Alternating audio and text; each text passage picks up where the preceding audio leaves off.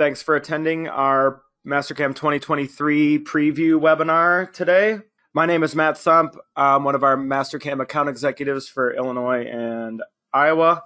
And then Devin Glass, one of our senior applications engineers, trainers, is with me here today. Hi, Devin. So the agenda is real simple here today. I'm going to pass it over to Devin here in a minute. He will highlight some of the new features we found pertinent in there, and then Devin will pass it back to me for a couple follow up things when we're done. But expect this to last 30, 40 minutes or so. All right, guys. Again, my name is Devin Glass. I'm an applications engineer here at the Indiana office. I'm also the in classroom trainer. So if you guys have been in uh, in class past year or so. Likely I've been at the front of the room here. I like last year. My task was to kind of go through and see the new features in 2020 or well back then it was 2022, but now 2023 and try to see anything that stood out to me and stood out to would be helpful for our customer base here. Due to our lack of time, we're not going to be able to get through everything in there and there's usually just a little tiny quality of life feature that I missed or that uh, maybe didn't have time to cover here. So at the end of this, Matt's going to have a link to where you can see a nice documented list of everything that's been added or what's planning to be added in 2023 in case you're curious to see those tiny details there. Also, like Matt said, this is all running off of the beta. I believe I'm on beta 3 and they currently have beta 4 out right now. Just keep in mind that I'm going to be showing you screenshots, I'm going to be showing you little videos and they are subject to change, you know, the UI might look a little bit different in this function. This might work a little bit differently in this function. Just keep in mind that even though we're really late in the development cycle, things can still be moved around and things can still change. So please uh, bear that in mind if uh, if what I talk about here in a second looks a little bit different than what looks like in the final release. One of the things I try to do during these webinars and especially on the rollouts is I try to not necessarily use CNC software as examples. There's just a couple instances where I had to just for sake of time. I try to use my own part files or I try to make example files so that way I get a good understanding of what's going on there. Hopefully you won't be seeing these demos anywhere else. And uh, hopefully when the rollout comes out, you'll be seeing brand new stuff and I'll have brand new stuff for us to look at there or depend on whoever does it, of course. Let's just jump right into it. First, just some general enhancements. A lot of it's going to be more design and drafting oriented. So we'll just start her up here. So I'll click here. There we go taskbar, recent functions. So if you have your 2023, if you have your 2023 pinned to the taskbar or you have Mastercam already open, you now right click on that icon and it'll show you recent documents in there that you can then launch straight from straight from the right mouse click. So if you're used to other softwares like you know Microsoft Word, Microsoft, really any Microsoft Office product, and I believe there's some other softwares that are eluding me at the moment. You could right click on the icon and pick the recent documents, which you know, now we can too. Top level editing was introduced in 2022, but now they've expanded on it in 2023, where now um, 2023 top level editing will support dimensions and notes. So you can see here, I'm double clicking on a note and immediately puts me into the note function. I then green check, double click on to a dimension that lets me move and manipulate dimension, basically putting me in the smart dimension tool. Before in 2022 and prior, you'd have to make sure you go into that function before you click on the dimension or else it just thinks you're trying to delete or copy it or move it or something like that. Or, well, move it to a different level or something like that. But anyway, so that's now uh, been expanded to drafting entities.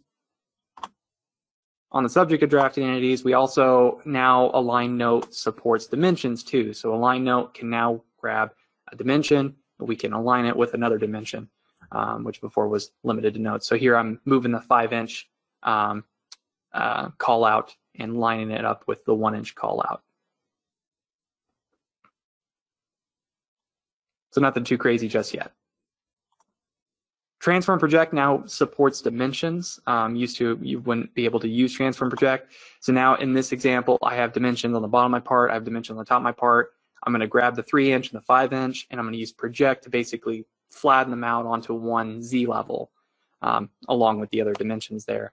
Now, just a key, uh, key point there, the project tool um, with dimensions only works with the depth mode. Currently, we don't have support for plane or surface mode, um, but we're hoping to get something like that in the future. Probably not for surfaces if it's any curvature, but um, definitely hope to see plane, um, plane project in the future if it's parallel. General continued.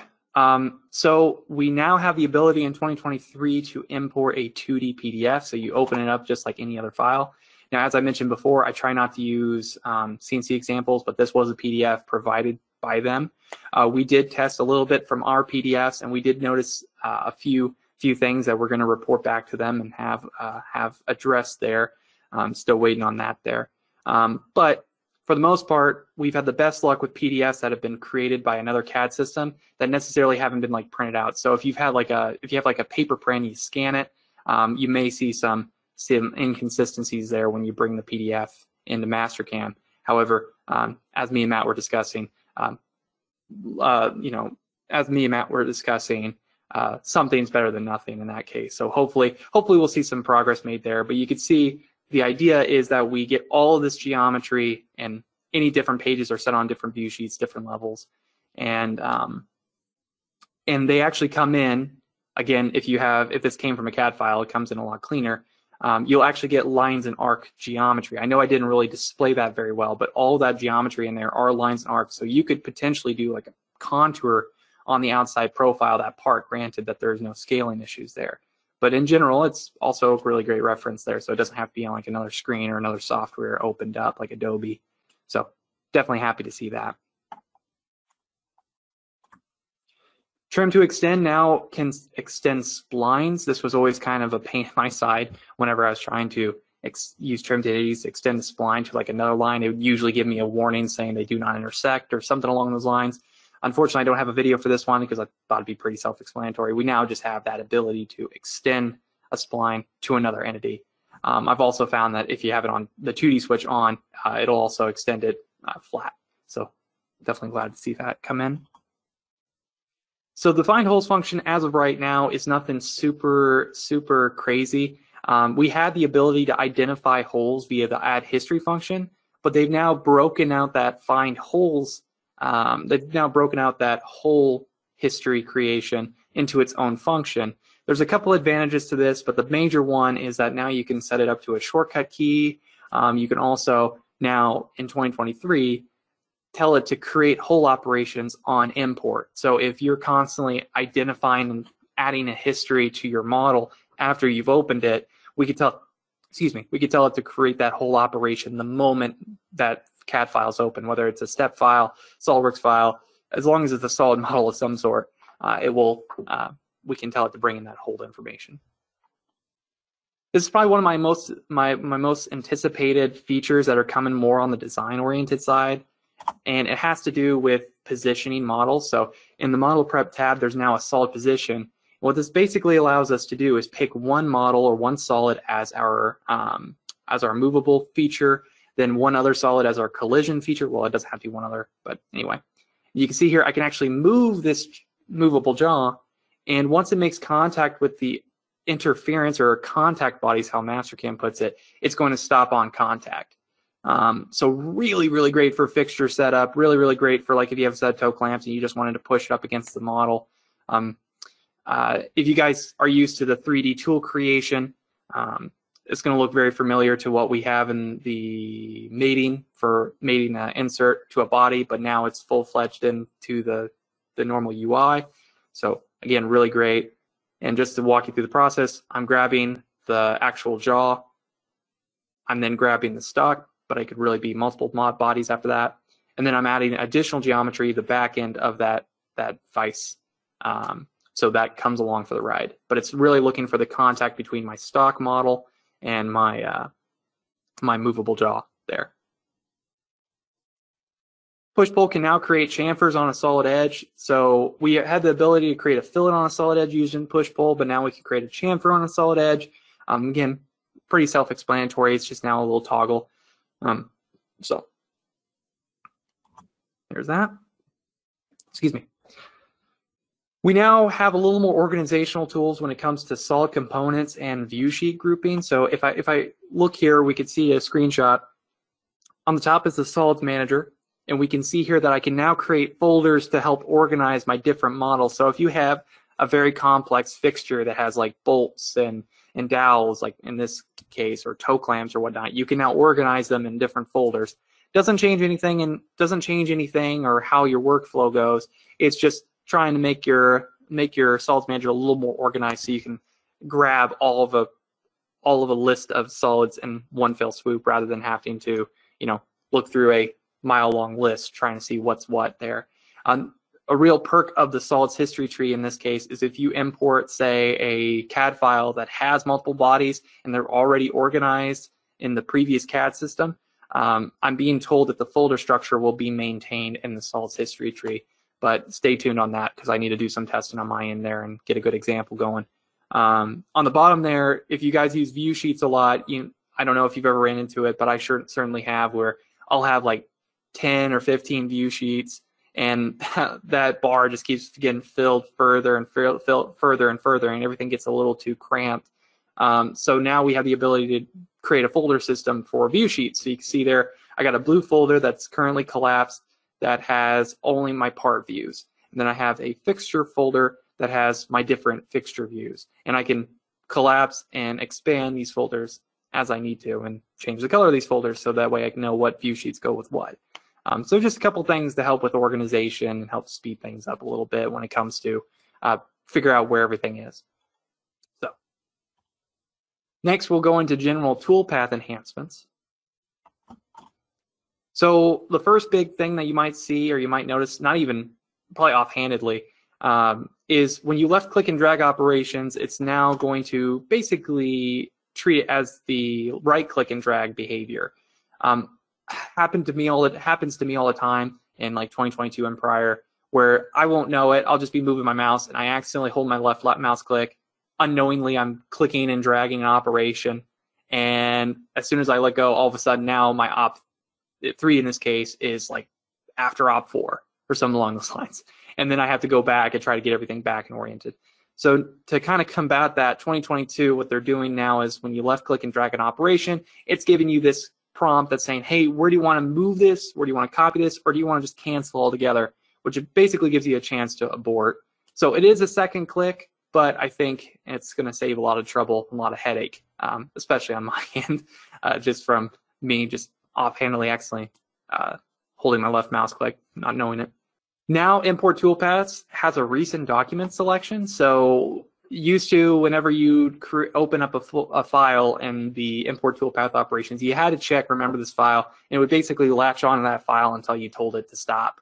Um, however, you know you might be move or picking from a part file that is you know very common work, but then you might switch and start using a tap uh, operation library and all that kind of stuff. So now we have the ability to keep track of all the tool, or I'm sorry, all the files that you've pulled from in the past and basically have a little drop down to get to them really easily. Um, I don't know what the limit is there. If I were to make a guess, I'd say it's the same as what we send the config for your recent documents at the top left. Um, but I have to really test that to see if that's truly the limit. If that is the case, then uh, it would be the same maximum, and it would be 20, uh, 20 files. Um, but again, I gotta I gotta push it to the limit to make sure there. So just something to make importing a lot faster. The advanced toolpath display can now show dirty tool motion. So when we have a dirty toolpath, used to have just clear off your screen, you couldn't see what the motion looked like.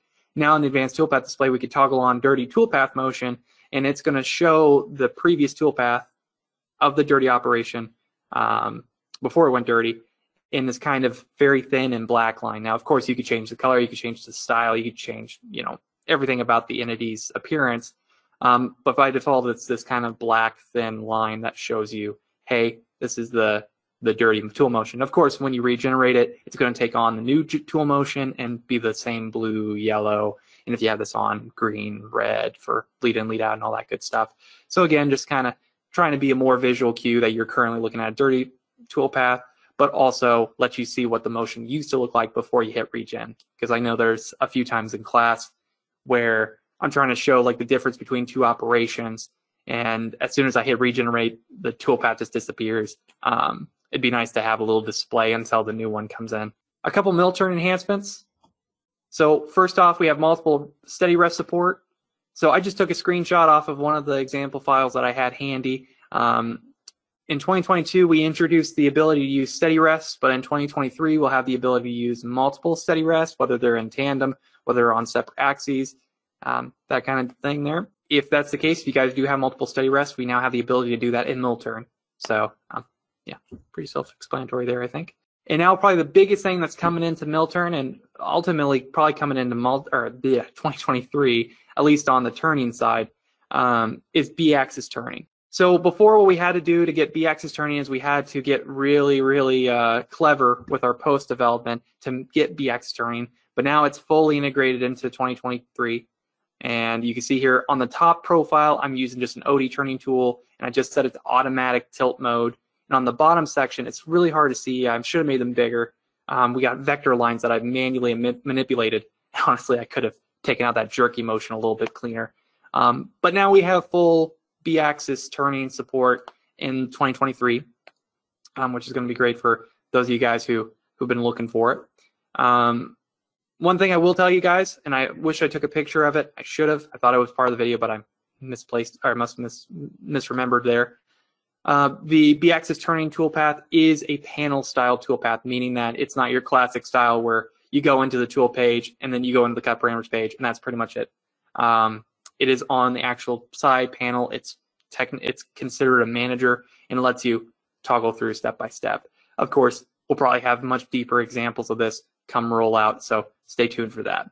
Now we'll get into the mill enhancements, and there are a plenty. So first off, the new machine group setup. This is probably going to be the very the biggest change you're going to notice right off the bat when when you're talking in mill. Now, rather than having that window that pops up that has just three pages, now we have a panel style layout like we had before. This first page is what you're used to seeing in the file page, but it also shows you a preview of the machine you have set in your simulation. The next page is your master model. So basically, what is the model you're trying to work towards? So in this case, that uh, bracket that I made. The third page is setting up stock.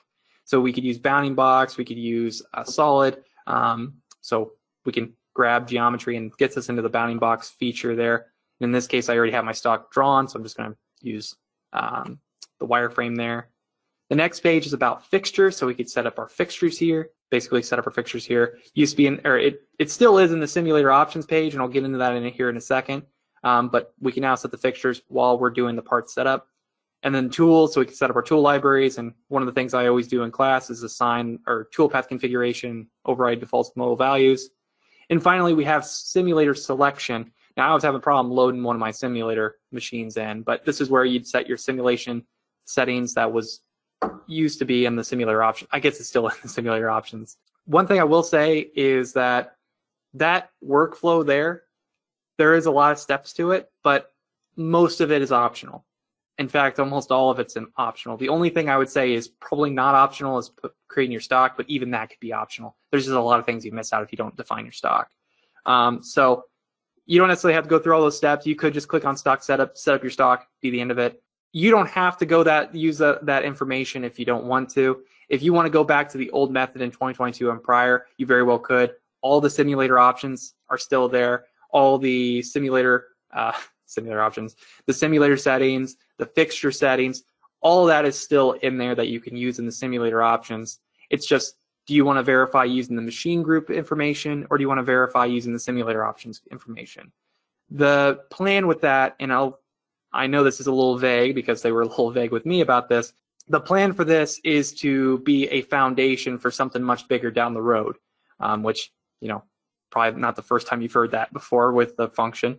Um, but the plan is that we're going to have more intelligence between the master file, master, master part and the stock. And if I were to guess, probably get some more stock recognition right out of the gate from mill, similar to what we have in lathe. But that is just speculation at that point. Um, I'm definitely, I'm unfortunately not in the know in that, and I don't think any of us are, unless you're uh, in the boardroom of Mastercam Corporate. Um, but definitely, uh, definitely some, uh, definitely some improvements there, and definitely trying to read redirect the uh, workflow there.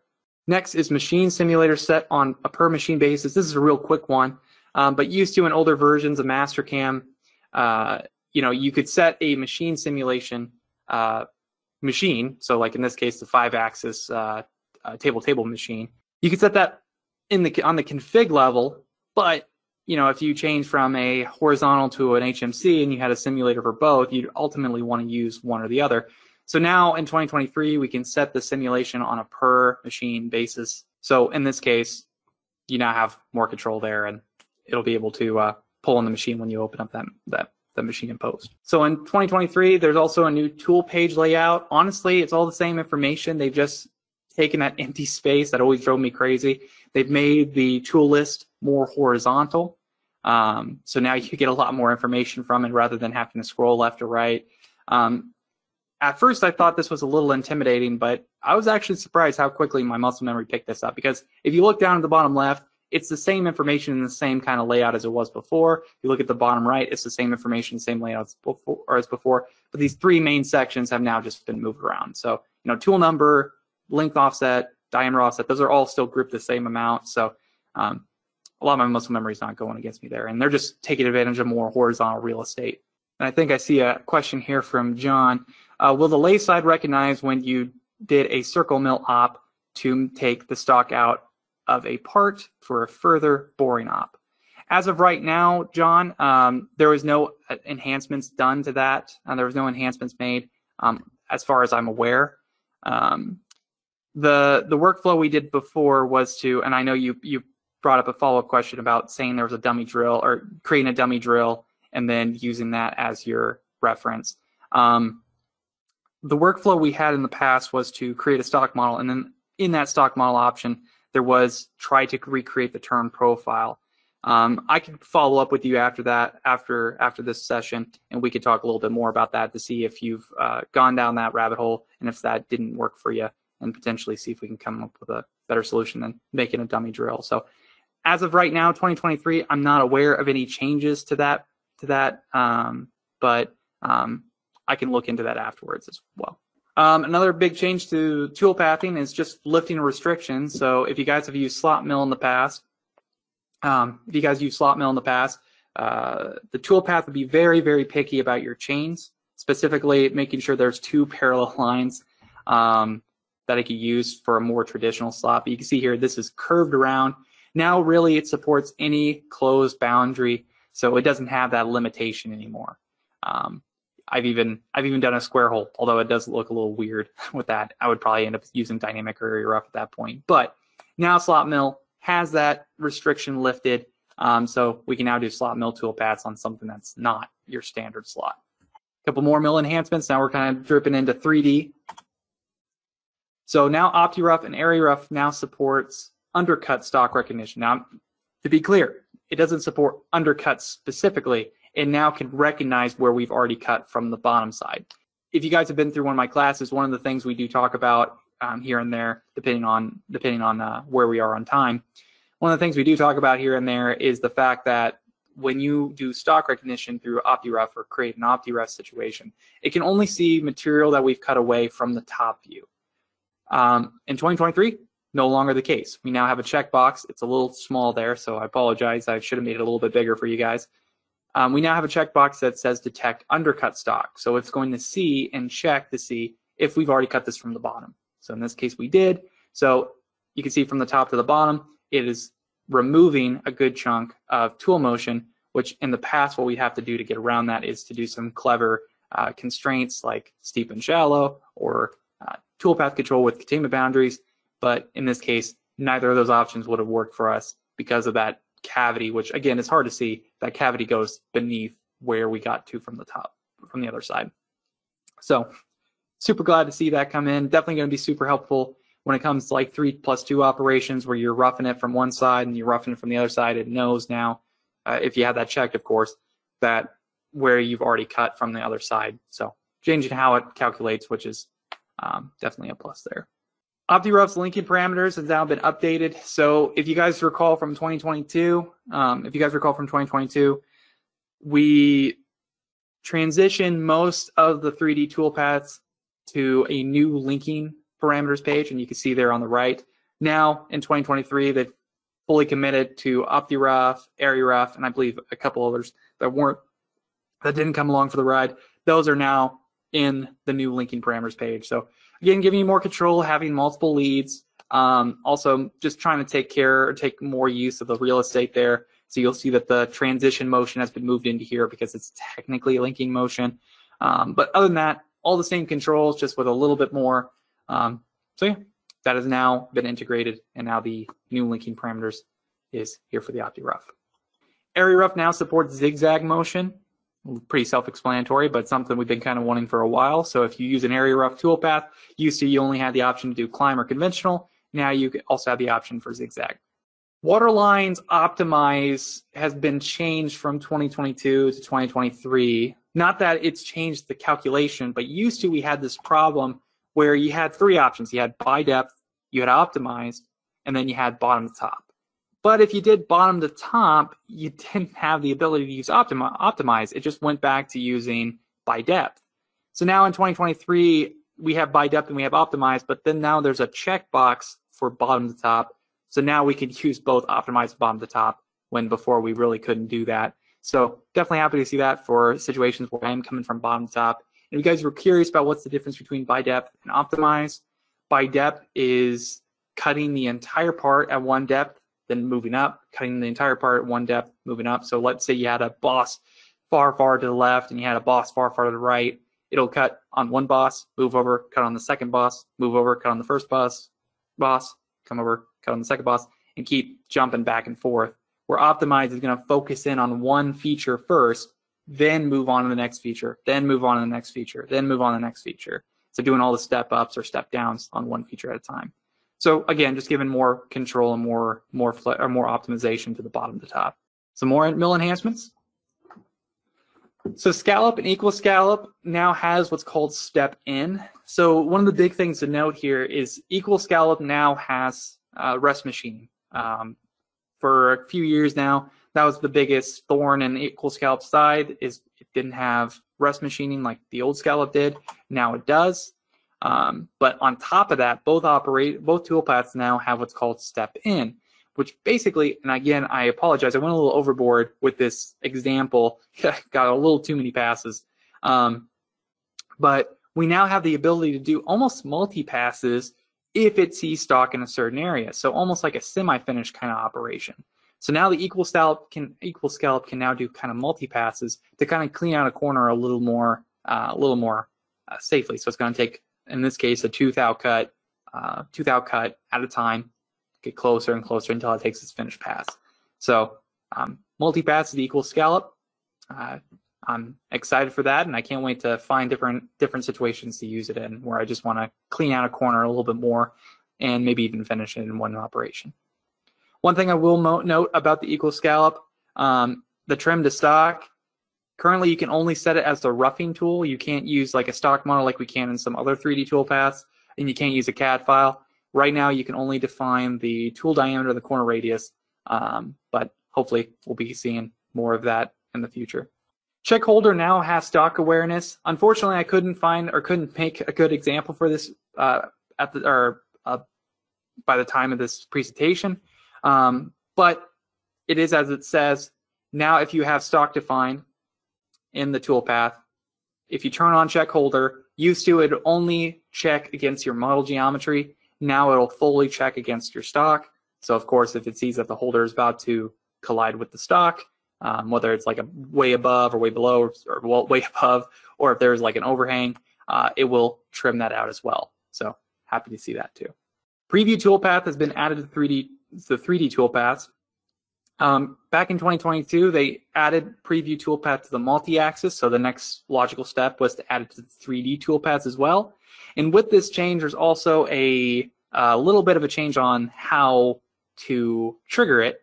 Um, so I've taken the icon from 2022, I've brought it into 2023, and I made a little op- or translucent there. So used to we'd hit a button at the top to preview our toolpath, but now to get the same behavior, all we have to do is hit the apply button. So now the apply button has some additional behavior that when you hit the apply button, it's going to preview the toolpath if the generate toolpath is checked. If you have that generate toolpath to the left unchecked, it goes back to the old behavior of apply. With that generate toolpath checked, if you hit apply, it's essentially going to preview the toolpath for you and you'll be able to see it off of your screen. And that is the case for 2D, 3D, and multi-axis. So, um, so no more preview toolpath at the top. It's now just the apply button. Now we'll get into multi-axis. So probably the biggest thing that you're going to notice when you get into multi-axis in 2023 is no longer do we have the morph parallel along curve that has now been consolidated to the unified toolpath. So in 2022, they introduced the unified toolpath, and the unified toolpath had the capability of doing a morph, doing a parallel, doing a long curve. The difference between those is if you use a morph toolpath instead of unified, you were basically stuck with a morph. Um, if you did a morph style toolpath within the unified, you basically have all the same controls as morph, but if you decided to change your mind and say, oh no, I want a parallel. Oh no, I want a long curve. You could do that without having to undo all your work. Um, so they've taken the next step and they flat out taken the manual functions out of there and just brought it all into the unified. It was technically already in there. Um, in a in a in an attempt to uh, try to clarify and give you more flexibility. Again, these are the same toolpaths. They're just now under the umbrella of unified, so that way you could change between them as you go. And you, once you set it to morph motion or morph style toolpath, you'll get the same options you had in morph. When you set it to a parallel motion, you're going to get the same options you had in parallel. If you set it to um, a long curve, you're going to get the same options you had in a long curve, and etc. Um, and when you now open up a older file that has, say, a morph, a parallel, or a project curve, or a long curve, those will now be migrated into a unified toolpath. So again, all those settings are being are being um, contained or are staying consistent. It's just now it's under an umbrella of the unified toolpath, which you can flip between them without having to basically undo all your work and start over with a parallel or start over with a morph. So um, just a quick thing to look out for there. All those toolpaths are now in the unified. Next, I'll talk about the deburr for a little bit. So the deburr now supports chamfer mills. So used to you can only use a lollipop and a ball end mill. That's no longer the case. You can now use a chamfer mill. And I know this is a very simplistic example, but just to show you that I'm using a deburr toolpath with the chamfer mill, and I'm just cutting a real quick chamfer on that outside. Um, so I just wanted to get a quick picture of that. We now have the ability to accept chamfer mills. We also now have the, the ability to accept other tool types as well. Anything with a wall, like a sidewall to it. Um, and you'll see why here in a second. So if you had a chamfer on the outside of a part, if you had a chamfer on the outside edge of your part, um, a lot of times what we would do is use a swarf toolpath to take the side of an end mill to basically cut that chamfer. However, using a swarf end mill, or I'm sorry, a swarf toolpath, whether you use the old style swarf or the new style swarf, um, you'd have to make sure that your syncing is consistent. You'll have to make sure that you grab the top rail and the lower rail at the right order. You have to make sure that, um, of course, you don't have the same, uh, you have the same number of entities or you have sync lines and all that stuff that you had to kind of be aware of or surface fanning and all that. Now, to get that same motion, deburr can create a swarf-like tool motion without any of the headache of making working about syncing, worrying about um, uh, fanning, surface consistency, and all that stuff. So in this case, in this example, we now have a checkbox. And in case in this case, I have a flathead mill, so this is the only option I have. Um, it's going to allow me to establish where on the tool I want that to make contact with my edge. And in this case, I'm back plotting it, and all I did was grab that solid edge. I told it I wanted a chamfer size, I think around 50 thou or so. Um, and it's going to figure out the tilting. It's going to do all this for me um, without having to have the chamfer drawn, have the rails drawn, and uh, all that all that good stuff, I guess. Now, granted, Swarf could still work here. We just have to make sure we draw the chamfer um, and do everything there. But now the deburr, just adding to its arsenal, can uh, now just cut the chamfer with the side of the tool. Now this includes flathead mills like I'm doing here. You could use a ball end mill. You could use even a tapered end mill. Anything with a sidewall to it um, is pretty much fair game from what I've been told. Um, so definitely, definitely happy to see that. And I believe that's it, guys, on at least on my end here. All right, you guys should be seeing my screen again. Just a couple things to wrap up here. The what's new new.mastercam.com here. You just go to what's new new.mastercam.com and it'll redirect to this slightly longer link. But here you can go through all the different, you know, there's the highlights, then they break it out by topic. And a lot of the stuff Devin covered today, like if I go to 3D Toolpaths and detecting undercut stock, it'll it'll give you a longer description on on what that does but it's it's all in here. If for whatever reason you want to go back and review, we also have all the previous releases up to a certain point on on here. We we typically go about four four versions back, but you can look through here. I appreciate everybody's time today. Devin, thanks as well. But everyone everyone. enjoy the rest of your Thursday. Thanks, Devin.